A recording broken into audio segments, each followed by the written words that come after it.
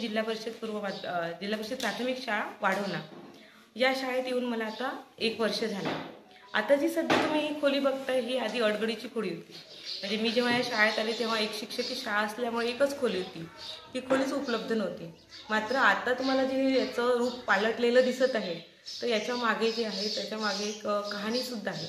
की याला सुरुवात केली कलरिंग करायला तर तेव्हा मी स्वखर्चाने सुरुवात केली. पण मग मी जेव्हा या रंगकामाचे फोटोज माझ्या स्टेटसवर ठेवायचे व्हॉट्सअप स्टेटसवर तर माझ्या म्हणजे नातेवाईकांमध्ये एक आहे. त्यांचं नाव आहे पंकज अग्रवाल. तर त्यांनी त्यांनी पाहत होते. आणि मुलांची शैक्षणिक गुणवत्ता पण रोज अनुभवत होते. त्यांनी म्हटलं की या कलरिंगचे पैसे कोणी? म्हणजे मला सरकारकडून येतात का? म्हटलं नाही मी स्वतः खर्च करत आहे. त्यांनी म्हटलं की विद्यार्थी पाहून आमचं असं म्हणणं आहे की आम्हाला तुम्हाला जितका हा खर्च येईल तो आम्ही तुम्हाला पेड करू.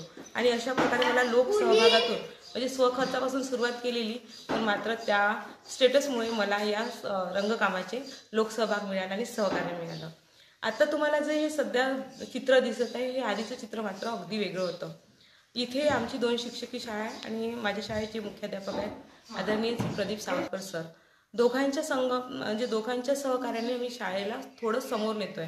कारण तुम्हाला सर्वांना माहिती आहे की आता दोन तीन वर्षापासून आपण कोरोनाचा जो कालावधी तर त्यामध्ये मुलांचा जो लर्निंग लॉस झाला होता तो भरून काढण्यासाठी पुढले किती वर्ष आपल्याला काम करावं लागणार आहे? पण तरी पण आमच्या शाळेचं जर तुम्ही मुलांचं जर शैक्षणिक गुणवत्ता बघितली तर तुमच्या लक्षात येईल की इयत्ता दुसरीची जी मुलं आहे इयत्ता दुसरीच्या मुलांचं आत्ताच आमच्या इयत्ता चौथीचं पाठ्यपुस्तक पूर्ण झालेलं आहे. म्हणजे दोन टू डिजिटच्या संख्याच असणं जरुरीचं असल्यावर आज माझी मुलं फाईव्ह डिजिटच्या संख्यांचं ॲडिशन सबट्रॅक्शन रीडिंग रायटिंग सगळं करतात. त्यामुळे ही मुलं आज दुसरीत नसून इयत्ता चौथीच्या पाठ्यक्रमापर्यंत पोहोचलेली आहे कुठलाही विषय घ्या मुलं अगदी सहजगत्या ते सॉल्व करतात. म्हणजे मॅथ्स असो इंग्लिश असो मराठी असो कुठलाही विषय असू द्या त्यांना त्यामध्ये मजा येते. होत गेले. आणि त्या सर्वांचं बेनिफिट आणि माझी आधी दहा वर्ष मी गोपाळपूर या शाळेत काम केलेलं तो एक समृद्ध अनुभव माझ्या पाठीशी होता. आणि म्हणूनच तुम्हाला आज जे मुलांचं गुणवत्ता दिसते. ते त्या सर्व अनुभवाच्या भरोश्यावर मी हे सगळं करू शकते. गोपाळपूरची जी शाळा होती तिथेसुद्धा अनेक म्हणजे संस्थांनी व्हिजिट दिल्या होत्या. अमरावतीच्या नामांकित शाळा सगळ्या व्हिजिट देऊन गेल्या होत्या. तसेच एक फॉरेनचं ग्रुपसुद्धा व्हिजिट द्यायला आलेला होता. तसंच आता ही वाढवण्याची शाळासुद्धा मला तशीच करायची आहे. इथलंसुद्धा लोक खूप छान आहे. गावकरी छान आहे सध्या पटसंख्या जरी कमी असली तरी लगेचच इथली पटसंख्या वाढेल अशी मला आशा आहे. आम्ही बारा गावचा आहे. आम्ही तर शेतात काम करायला आलो. आमचे नाव एका शाळेत आम्ही त्याच्यात गेलो नाही कोरोना लागले मग आम्हाला इकडे टाकले आम्ही हे शाळेत आल्यापासून मॅडम टाकलं. आम्ही काही मॅडमला येऊन एक वर्ष झालं.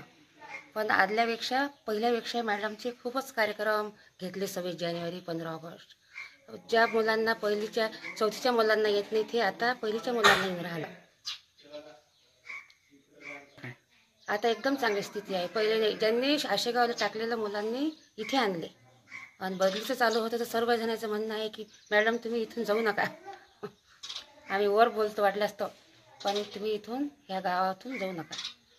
तुमच्यासारखे विद्यार्थी तुम्ही तुमच्यासारख्या जर टीचर गेल्या तर बस पोरांचं काहीच होणार नाही.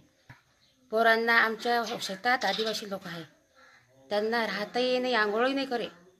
ते पोरं रोज आंघोळ वेणी कपडे सगळं आणि मराठी वाचतात. सगळं मराठी क- वाचतात.